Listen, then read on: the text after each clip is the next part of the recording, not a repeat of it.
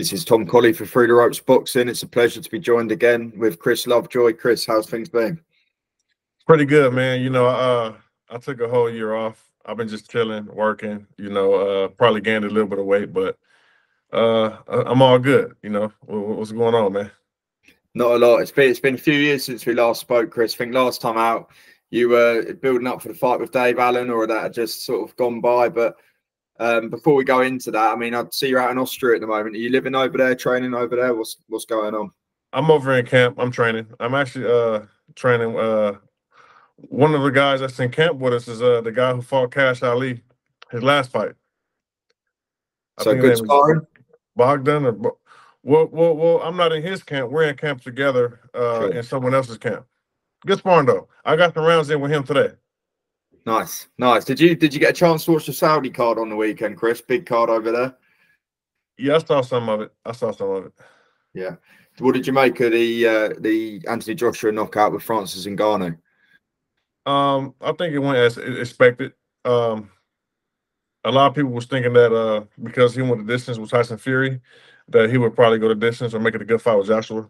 It's just two different styles. You know, uh, Tyson is a more defensive fighter, you know, more skillful fighter. Uh, AJ, he'd probably be a little more aggressive, especially someone who doesn't have the boxing experience. And that's kind of how I caught it and thought it was going to be. And I was just like, nah, I, just because he went the distance with Fury doesn't mean he's going to do good against Joshua. I think Joshua get him out of there quick. And that's what happened. Uh, you know, open to the right hand, you know, Joshua's a lot more faster, powerful than uh, Fury. You know, I mean, um, Ngannou just didn't have the defense to stop it. You know, kind of just sitting there like a sitting duck. You know. what do you make of the whole crossover boxing? Do you think that following that and Ghana as, as a future in boxing, do you think he should continue, or um, uh, and, and the whole crossover thing as a whole? What do you make of it? Uh, the crossover thing is cool. I mean, as long as, as long as it's selling out, you know, uh, putting people in the seats, everybody's making money. It's always a good thing, you know. Uh, now, I do believe it takes away a little bit from the actual fighters, you know, the people who like actually, you know, risk their health, you know what I'm saying, and put a lot of time in, you know, over the years and don't get these big opportunities. So uh, that's the, the downside of it. But at the end of the day, you know, like I've always I told fighters and told people about fighters that you gotta you gotta market yourself more, you know, because as a promoter these days, you know, the network, it's all about the ticket sales, you know, the revenue, uh, the pay per view and all that. So if you can sell a fight, you can get a fight.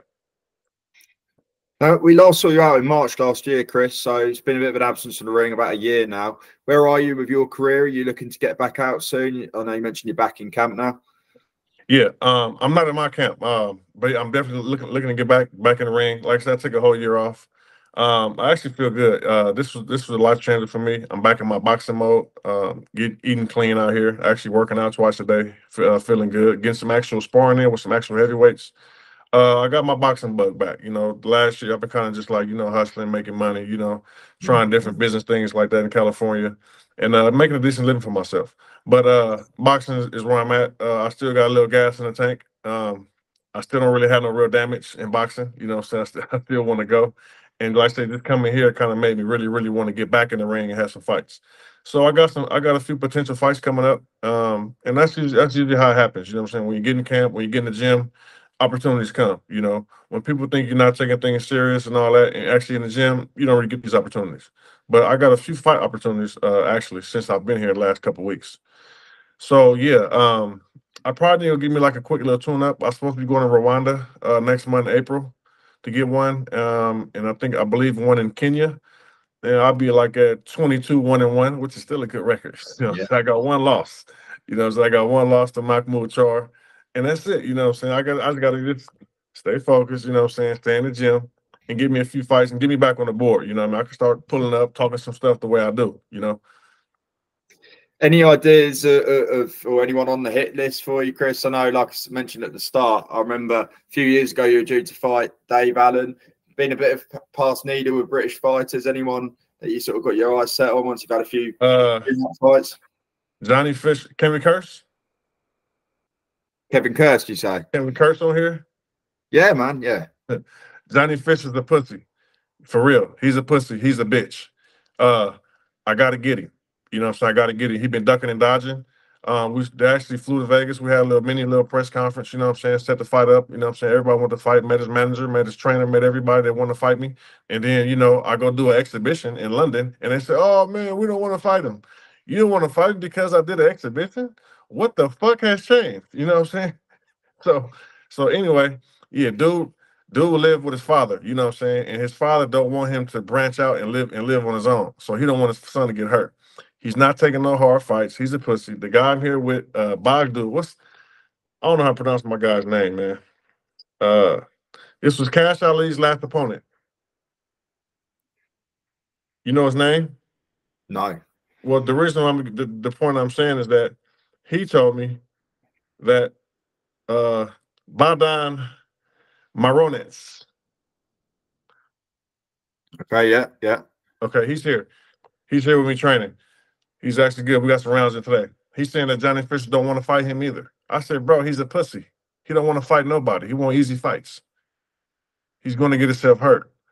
I said, he don't even want to fight me, and I wasn't even in shape. You know what I'm saying? So yeah, definitely um, Johnny Fisher still on the hit list. Uh, Joe Joyce, he's always been on the hit list.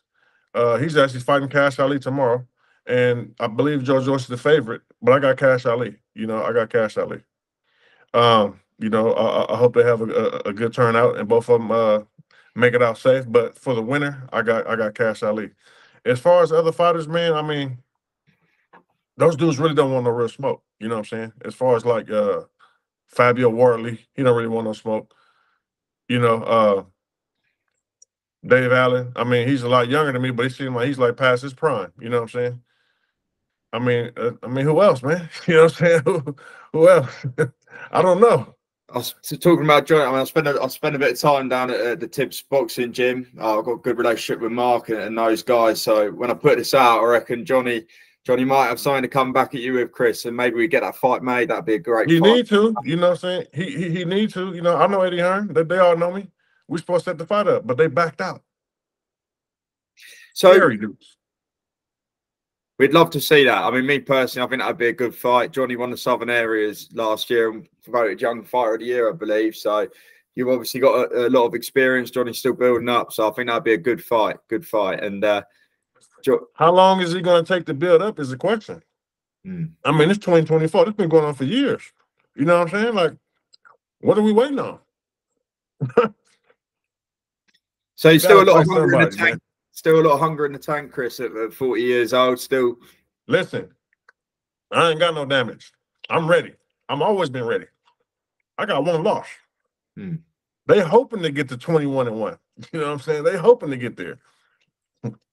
It's gonna listen, it's gonna take them four, five more years to get 20 wins. You know what I'm saying? The way they fighting. It's like, damn, what are we waiting on? We've obviously seen a lot of fights being made in the heavyweight division uh, over in Saudi Arabia. I mean, we could get Fisher, Chris Lovejoy potentially on, on one of the undercards coming up. Maybe who knows? Dude got to grow some balls, man. You know what I'm saying? He got to grow some balls, bro. You know what I'm saying? Like for real. You know, I don't, I don't know what he got going on. Just moving on to, to the wider scope of boxing, Chris. Um, we've got obviously Fury Usyk coming up. Two guys in your division. How do you see that one going? It's obviously it's been postponed. We got it now. I think it's is it May coming up in May. How do you see that one going? Um, I see it going a distance. Um, I see it being a lot more competitive than people may think, and than Fury may think. Usyk's pretty good. He's still a middleweight, you know, in Fury's words, you know. But uh, I get an edge to Fury. I get Fury the edge, you know, and uh, I think he'll convincingly beat him. I think it'd be like a unanimous decision. But I do know that, you know, Usyk is coming to fight. You know what I'm saying? He's proved that he can fight a bigger man. But he's also skipped through the whole heavyweight division to fight Joshua. You know, he didn't have to go through the, he didn't have to go through the ringer. He didn't have to fight and move his way up and work his way up. He fought no heavyweights. He fought one guy Hasn't fought since. You know what I'm saying? The guy who fought didn't fight in like three or four years. You know what I'm saying? Hasn't fought since. Just a heavyweight fight and then he fought Joshua. So, you know, he never really got to get, get really tested by a real heavyweight. So, another one know. coming up, Chris, um, which I wanted to get your thoughts on as well. Big fight, Devin Haney versus Ryan Garcia. How do you see that one going? I got Devin. Um, I don't see Devin stopping him, but I do see Devin running away, running away with the fight. Unanimous decision. I mean, Devin really like grew into who he is. You know, uh, I fought, I fought on a few cards with him in Mexico. I watched him grow up. Uh, he was like 16, 17 years old fighting, and uh, you know, just just going through the process, becoming a man. I was always thinking like he's not really ready, but it's okay because he's still young and he really shocked me his last five fights. I mean, every every time he fought, they were saying this the one. This gonna be a hard fight for Devin. And he really shocked me and shocked everybody. You know what I'm saying? I mean, he really went over there to beat Kambosos, went back to defend the belts, you know what I'm saying? Beat Linares, you know what I'm saying? Beat Lomachenko. You know, he beat all these guys, you know what I'm saying? He's undefeated, un- undisputed. And there's nothing to talk about. So, you know, uh they gotta beat him. I don't think nobody can beat him right now. Just finally, before I let you go, Chris, do you have a message to, to any of your fans, anyone tuning in to see you come out in 2024 and make your ring return? Uh, I ain't going nowhere. You know what I'm saying? Like I told people two, three years ago, I could take two years off. I could take three years off. They still can't catch my record. I'm 21 and 1, 20 knockouts. They still can't catch me. Uh, I'm back in the gym. You know what I'm saying? Uh, I'm working out. And see y'all soon, man. That's it, man. I'm still the UK assassin for sure. Chris Lovejoy, thank you for speaking through the ropes boxing. It's been a pleasure. Let's get it, man.